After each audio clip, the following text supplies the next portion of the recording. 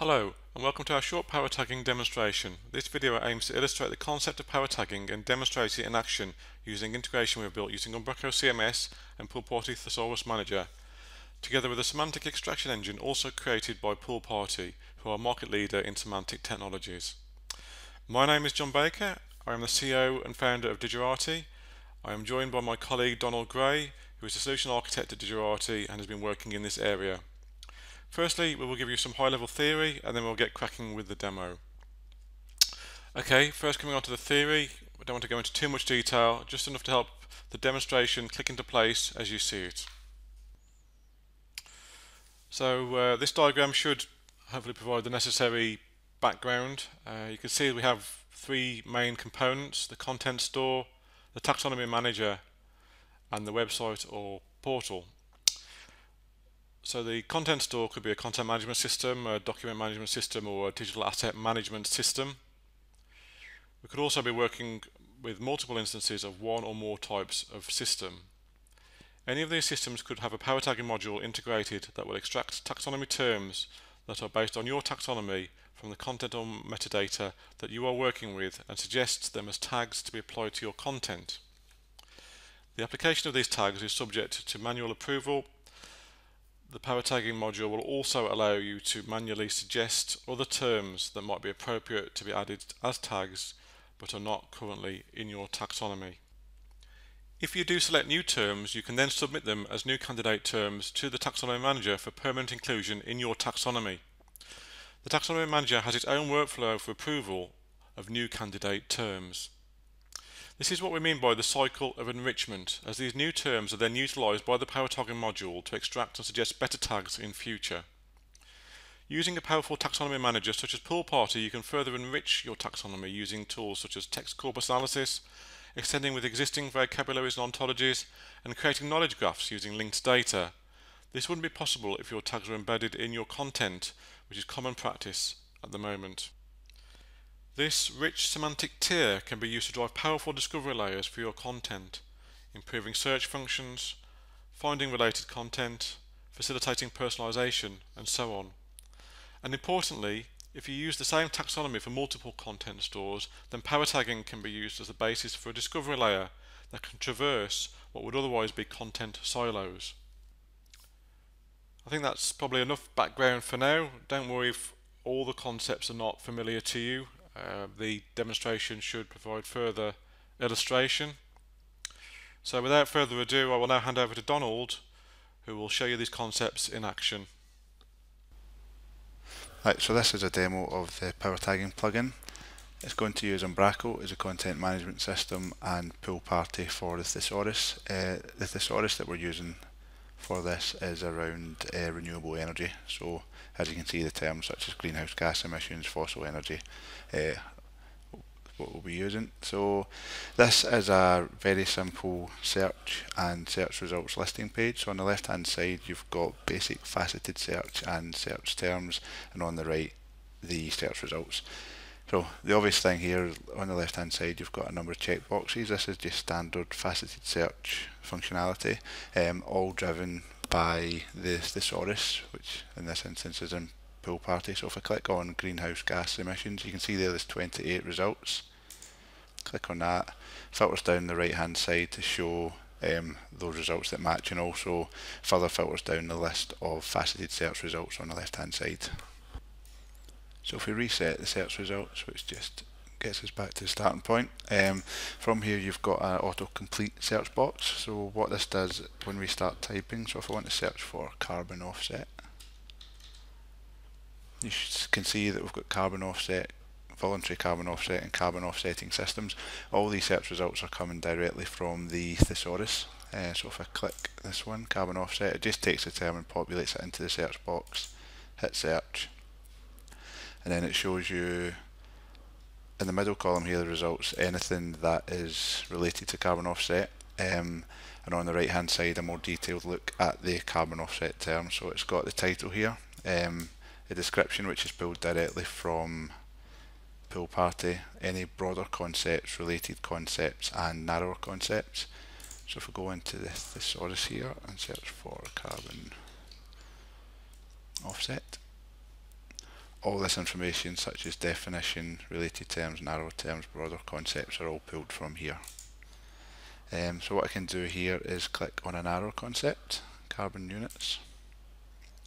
This basically kicks off a new search, populates carbon units here and pulls um, the details of carbon units through from the thesaurus. So now that we're searching for carbon units, um, there are currently no results within the content management system that are tagged with carbon units. So what we can do now is go to Umbraco, log in as, in this instance, the admin user. Um, nothing special about the, the setup of the Umbraco content. So we've just got some basic home node, but what we're interested in are underneath resources, we've got just an item container called texts, and each of these um, contains the various items that are searchable and surface in the search results. So if we click to create a new text item, in this one we are calling it carbon units. That's just the, the name, title, uh, text to extract. So this is the, the actual copy that you would use for the content. So what I'm doing here is just going to Wikipedia and grabbing some text on carbon credits. So I just copy that, come back to Umbraco, paste it in here. So that's just some basic um, content around this. So if I save that, so it's inside the content management system, and then from here uh, I click this extract text concepts button. So what that will do is it will use uh, PoolParty to look through the thesaurus to find any matching terms for the text and also suggest any terms based on their corpora analysis. So if I hit that, shows it's working. So what we've got in the top here is the extracted concepts that are already in the thesaurus. Uh, you can see that carbon dioxide, carbon credits, each of these and the, the number here represents the frequency. Um, so this is five times, three times. Um, and this one as you can see is a slightly darker colour of grey. That's because it's the most frequent term which is just carbon which appears 13 times. By default any terms that are found within the thesaurus are added. Um, and you can remove them if you want. So this is the mitigation projects I might not think that's relevant. So I can remove that and I can also remove carbon intensity. Document extracted concepts. These are suggested concepts that are not in the taxonomy, um, but by analysing the contents of the text, uh, these are suggested that you could add them. So I can click on any of these individually, or you could click add all items to add all of them. But I know that I just want to add credit, dioxide, and ton. So as well as adding the suggested terms. Um, I can also use this autocomplete box to find any tags that I want to add that weren't um, present within the copy that I used. So I was originally uh, searching for carbon units um, and that term has not appeared here. So if I search for carbon units, it's added. Um, it's a dark grey to show that I've manually picked that um, and the, within the brackets here there's no number because it doesn't actually appear within the document. So if I save and publish this, you can see when I hit save that it's of all the suggested terms only those that I've added have remained. So there you go, content published and visible at the website. So if I come back here, search for carbon units, I now get one result based on the article that I've just added uh, and the faceted search has been shown. So every term that I've tagged it with is now appearing within the faceted search. Um, and so we got to carbon units from coming, searching for carbon offset, going to a narrower concept. So if we go back up to carbon offset, uh, this is just a little example to show that all the results are updated effectively as soon as the content is edited. So if we go back to carbon offset, the faceted search results here show that carbon offset there's seven documents with that um, tag. So if I go back to the content this isn't one of those that has carbon offset here. So if I search for carbon offset save and publish that. Again it's dark grey and there's no number because dark grey signifies we've manually added it and the no number shows that there's no no occurrences of carbon offset within the copy down here. So content published and visible, come back here. So if I research for carbon offset, so there's seven results, search again, and now there's eight. And one of those should be carbon units, which is down the bottom here. And again, you can use show similar, which shows me any articles within the content management system that share the similar tagging. The final step that we can take here is um, the cycle of enrichment that John mentioned in the initial slides and this is to take suggested terms and feed them back into the thesaurus. So if I go back to the carbon units article that we created, we've got dioxide, ton and credit as suggested terms that are not currently in a thesaurus and you can also add uh, your own terms. So I can come here and add uh, eco tax. So I can start typing that. It will find everything that starts with eco but there's nothing with T so eco tax. Only one item. So if I select that appears in here. Again it's dark grey and there's no number in the bracket showing that it doesn't appear within the article. So if I save that and what that's doing is as well as saving it as normal and indexing it for search it is pushing eco tax up into the PoolParty thesaurus as a candidate term. So now that that's finished and saved, if I go to PoolParty, um, so this is the main thesaurus here on the left, and underneath there's a lists element, and then within that the suggested concepts. So if I search for eco tax, you can see here the preferred label, and that can be added as a narrower, narrower concept alternative label or top concept of anything so I could add that as a narrower concept of environmental taxation.